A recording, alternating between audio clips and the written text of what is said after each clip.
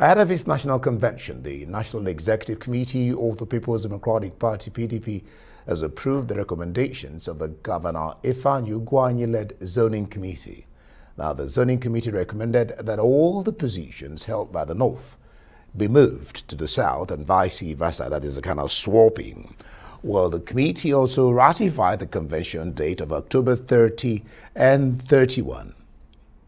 President. They considered the report of Governor Ifeanyi Ugwuanyi's um, report on zoning, and NEC approved the zoning as presented, which, as you understand, the positions that are in the south will go to the north, and the positions that are in the north will go to the south.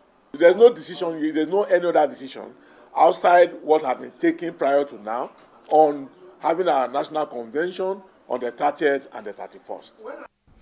Meanwhile, Nigeria's former Vice President, Atiku Abubakar, says Nigeria's president can come from any part of the country. Abubakar said this at the National Executive Committee meeting of the People's Democratic Party in Abuja. The former vice president says the geopolitical zone of the president is not the solution to the problems of the country. The People's Democratic Party has the right to determine its rules on how the party should be governed. The people of Nigeria also have the right to determine who governs them.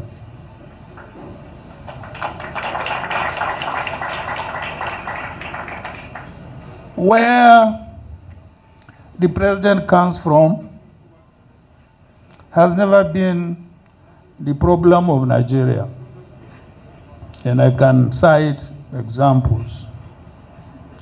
Neither will it be the solution. There is no such thing as a president from southern Nigeria or a president from northern Nigeria. There is only one, a president from Nigeria, for Nigeria, by Nigerians. This country has a sense of fairness. This country has a sense of justice. This country has a sense of fairness. Therefore, this thing that is inbuilt in our party, we should be able to use it well, for more on this, uh, I'm being joined by Okwesilieze Nwodo, a former national chairman and former national secretary of the People's Democratic Party. He's also a former governor of Enugu State. Interesting to have you join us on News Night. Thank you very much. Good. Let's start with uh, the list that I just, uh, the INEC just released. Uh, uh, Valentine Ozigbo of your party, and then of course you have APGA uh, Chukwuma Soludo, and then of course you have uh, Uba of the APC, and then 15 others, and and then no woman. What's your take on on that, on the list? I mean, with all the courts, you know, all the court uh, judgments and all that. What's your take? Well, let me say that Nigeria is ripe to have a woman governor and indeed a woman president. I think that Nigerian women they have really cut their teeth. And they are assuming international positions, World Trade Union, United Nations, and I don't see why we can't elect them as governors and presidents. What is important is that countries that have been able to do this create the enabling environment for the women to be able to compete. What's that environment? And do you see this happening in the nearest future? Well, I'm one of those who has been advocating it even in our party, right from the time I was national secretary and national chairman later on. I, I, I believe in the 35% for women, for a start.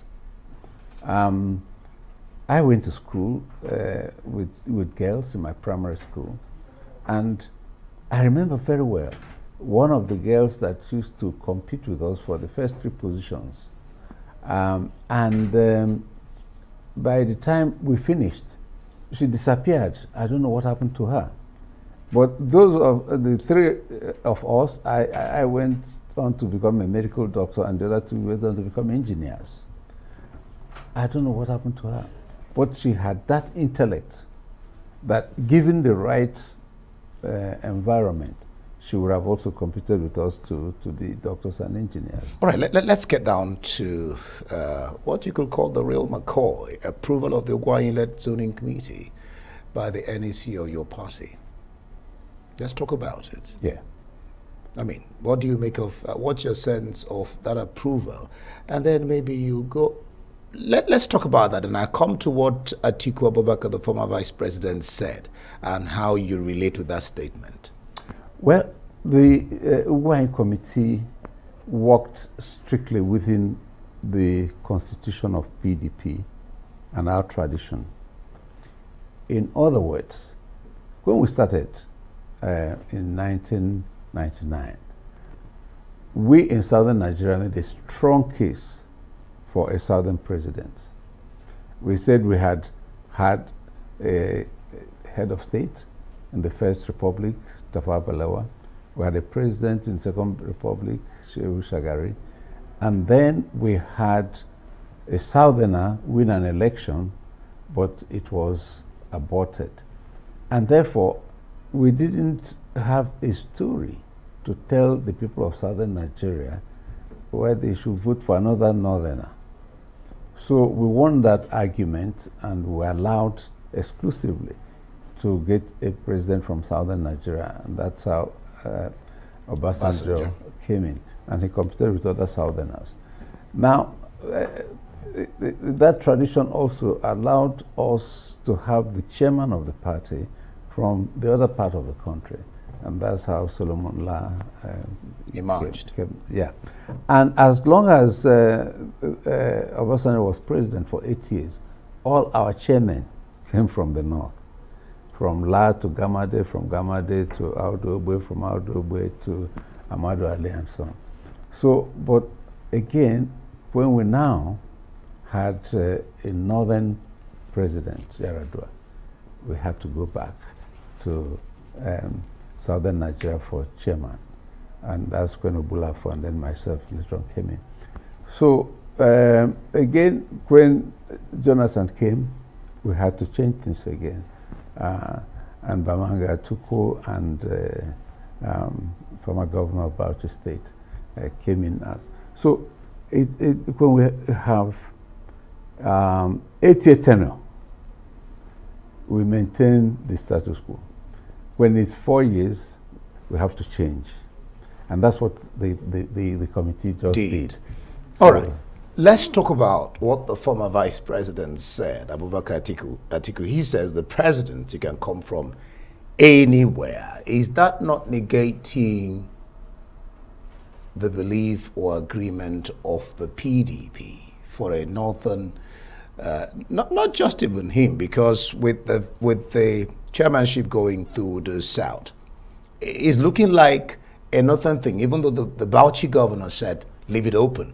And so it's looking like PDP has left that position of presidency open. Is that what it is? That is what it is in a way. Um, PDP has a joker for the presidential slot. And we believe that when we get to the bridge, we cross it. The bridge we are at right now is the party executive. Mm. Um, remember that we are contesting with other parties. I thought we were going to make preparations for crossing the bridge before we get there. no. Um, other parties are in this race with us. We're looking at them. They are looking at us. It's a, it's a, a game of strategy. Mm. Uh, and, but the bottom line is that PDP will zone to win. Okay, zone to win the is the caveat, yes. not zone to the south. We will zone to win. But is the south to, is the south knocked off? No, Any, anybody can run. So, but the north it, can it, contest. It, yes, it may be it may be a free run for all, and we choose the best. Or at that time, we may decide to zone based on what others have done, mm. so that we can zone to win. All right. I see. So, what others do may determine what you do. That's what you're saying. Yes. All right. Thank you so much, uh, Dr. Okwesilieze Nwodo, former national chairman and secretary of the PPM, former governor of Enugu State. Thank Glad you to very have much. you here. Thank you so much.